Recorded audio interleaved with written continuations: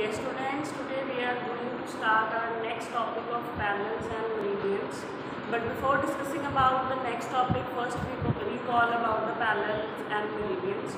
We have discussed uh, in this starting of the chapter that we all live on the earth as earth is the only planet where life exists. And we all uh, know that the shape of the earth is round. So uh, the Ferdinand Magellan was the first to prove that the earth is round. He uh, sailed around the world with his ship and after three years he reached the same point from which his ship started traveling. So he proves that earth is round. As we all know that earth is divided into two parts, one is for water and other one is for land. About 71% of earth's surface covered with water and 29% of the earth's surface is covered with land. And uh, land have a uh, very uh, land masses which has mountains, plateaus and deserts and large water bodies are called oceans. So this is the classification of earth that earth surface has two parts, first one is for land and other one is for water. So maximum uh, surface is covered with water that's why our earth looks blue from the space and the other name for earth is called blue. Yes, then further there are five oceans and seven continents. The name of the oceans are Pacific, Arctic, Antarctic, Atlantic and Indian Ocean. Pacific Ocean is one of the largest and deepest ocean. Arctic is the smallest ocean and the second largest ocean is Atlantic. So these are the five oceans. Then comes the continents as there are seven continents in the world. First is Asia, Australia, Africa, Europe, North America, South America and Antarctica. So it is a quick review about the chapter that we have discussed earlier. After the reviews, we will start our next topic of this chapter's parallels or we can call them latitudes. Yes, now we are going to start our topic latitudes. The other term which we used for defining latitudes is parallels. So what are latitudes? Latitudes are the imaginary lines which are drawn horizontally from west to east. As we all know that the top is for north direction and for the bottom is south direction. Here it is east and this is west. So latitudes are the imaginary lines which are drawn horizontally from west to east. So these are the imaginary lines which we call them latitudes. As we can see that these are parallel to each other that's why the other name which we use for latitude is parallels. So they are parallel to each other that means that they never cut each other all are not of same length for here you can see that the distance here is more here distance is um, um, different here distance is different so they are not of same length as they are parallel to each other but the length difference between all of them are not same and there are total 181 latitudes how and the ending point of the globe is one is north pole and second one is south pole the area from this line which divide the globe into two parts is called equator. So from equator to north pole, this area is northern hemisphere. And equator to south pole, this area is called southern hemisphere. As equator is 0 degree, north pole is at 90 degree and south pole is at 90 degree and equator is one of the longest line of latitudes. So we are saying that there are total 181 latitudes. How? From equator to north pole there are 90 latitudes. There are 90 latitudes. Then from equator to south pole there are 90 latitudes. Four. So it is from 90 and this line of equator this is this line is common in northern hemisphere as well as southern hemisphere so there are total 1 181 latitudes found on the globe so this is all about this latitudes So what are latitudes? Latitudes are the imaginary line which are drawn from west to east and equator is the largest line of latitude. And other thing these lines are parallel to each other but the distance between all the latitudes are not same. As they are parallel to each other they never cut each other because they are parallel and there are total 181 latitudes on the globe. Yes, here are some important latitudes. As we all know that Earth is divided by the equator in two equal halves. The upper half is for northern hemisphere and the lower half is for southern hemisphere. So, equator is also known as the center line of latitude. So, the important latitudes are in the northern hemisphere 23 and a half degree north latitude is called Tropic of Cancer and in the case of a southern pole in the southern hemisphere, 23 and a half degree south is called Tropic of Capricorn. Then 66 and a half degree north in northern hemisphere is Arctic Circle and in the southern hemisphere 66 and a half degree south is Antarctic Circle. So these are the some important latitudes which are found on the globe. As the dimensions are same, the difference is that they exist in the northern hemisphere and this exists in the southern hemisphere. So these are the important latitudes which are Yes students, now our next topic is longitudes. So the other name which we use for longitude is meridians. So what are longitudes? Longitudes are also the imaginary lines. These lines are drawn from north pole to south pole. Means from north to south, the imaginary lines we can call them vertically lines. So these are the imaginary vertical lines which are drawn from north to south. And these all uh, you know meridians are of same length and they all the meridians meet at the poles. One at south pole and one at north pole. So the equator here is 0 degree and the name of the equator is prime meridian. The name of the equator in longitudes is prime meridian. So the other name from prime, other name for prime meridian is Greenwich meridian. The reason behind this, while locating this meridian, while locating this equator, the equator, this line passes through a place which is in London. The name of this place which is in London is Greenwich. That's why the other name of prime meridian is Greenwich meridian. Okay. So, the distance of longitudes with equator is the maximum. Here you can see the distance between one longitude and equator here is the maximum. After the equator, the distance between the longitudes start decreasing. The difference between the two longitudes start decreasing after equator. So between the equator and longitude the distance is maximum.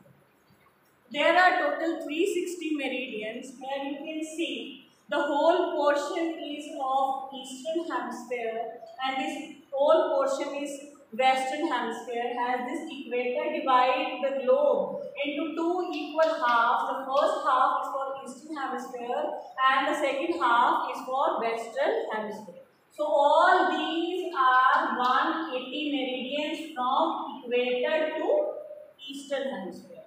And then from equator to western hemisphere they are total 180. So there are 360 meridians which form a complete circle. And the other thing, these longitudes divide the latitude. As we know that this is the equator. This is the equator of latitude. And what are latitudes? Latitudes are the lines which start from west to east. These are the latitudes, right? So, the longitudes cut the latitudes at 90 degree. The longitudes cut the latitudes at 90 degree. And what does this is known as? This is known as a grid. What does this known as? This is known as the grid. For which purpose does the grid use? For locating a place on a globe or on a map a grid is used. A grid is used. So these are our latitudes and these are our longitudes. So here you can see that the longitudes divide the latitudes or cut the latitudes at 90 degree. So this form a grid. What does this form? This form a grid which is used to locate places on globe or on map. Right? So for this purpose, grid is used. So grid is also known as the network of longitude and latitude because this grid shows the network of different latitudes and longitudes. So for this purpose grid is used. Yes and the last topic of this chapter is international date line. So for understanding the international date line, first we have to understand that what are the different directions which are shown on a globe or a map. As you all know that on a map, the topmost uh, direction shows the north, the uh, bottom direction shows you south and this is your east direction and this is your west direction. So this is 180 degree east and this is 180 degree west. As we all know that earth moves from west to east. The earth moves from west to east. So when earth completes its one revolution, the day changes, right? When earth completes its rotation, then we uh, then one day is added. And if we go to backward, then we go to backward means in a in a reverse direction. If we go from east to west, if we go, go from east to west, then one day is deducted, not added. One day is deducted. I am explaining it again to all of you. As we all know that earth moves from west to east. Same if we move from west direction to east direction then one day is added. Then one day is added. And if we go in a reverse direction, in reverse direction means when we move from east direction to west direction, one day is deducted. So this is the main concept about international date line. I will give you one example. With the help of that example, your concept will become more clear. For example, yes, here we have taken an example. Suppose somebody wants to travel from this point to east direction. So when he started his journey at that time, the time was 9 pm and the date was 1st June. So the person wants to travel from west direction to east direction. From west direction to east direction. So when a person moves from west direction to east direction, one day is added. Or we can say 12 hours are added. So what will be the date when he crosses from west to east? The time will be 9 am and the date will be 2nd June. It means when somebody crosses from west to east, one day or 12 hours are added. So when he started his journey, the time was 9 pm and the date was 1st June. But when we crosses from west to east, the time changes to 9 am in the morning and the date changes from 1st June to 2nd June. Same if that person wants to travel from east direction to west direction. When he wants to travel from east direction to west direction, he has changed his path. He changed his direction from east direction to west direction. What will happen? One day is deducted. Means 12 hours are deducted. So 12 hours are deducted. So what will be the time? The time when he started the journey was 9 pm in the night and the date was 1st June. But at the time when he crossed from east direction to west direction, one day or 12 hours is deducted. So what will be the time? The time will be 9 am in the morning and the date is 1st June. So total, total here there is a change of 24 hours.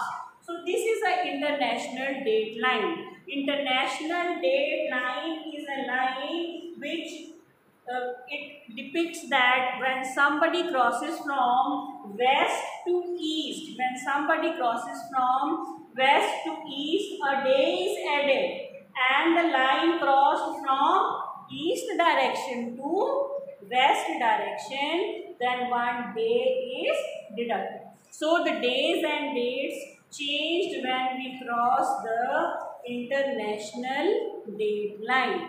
And the international date line, as we know that these both meridians, these both meridians, 180 degree east and 180 degree west, both lies on the same line both lies on the same line and this line is called international date line. So this was all about your chapter of parallel and meridians. So we discussed different facts about latitudes. We discussed different facts about longitude. That latitudes are the imaginary lines which are drawn from west to east and longitudes are the lines which are drawn from north to south. There are total 181 latitudes and there are 360 meridians. Latitudes never cut each other but longitudes meet at one point. One is at North Pole and other at South Pole. When latitudes and longitudes cut each other, they form a 90 degree angle. And this network of latitude and longitudes are known as grid which help us to locate different places on globe or on a map. So this was all about your chapter. Thank you and have a nice day.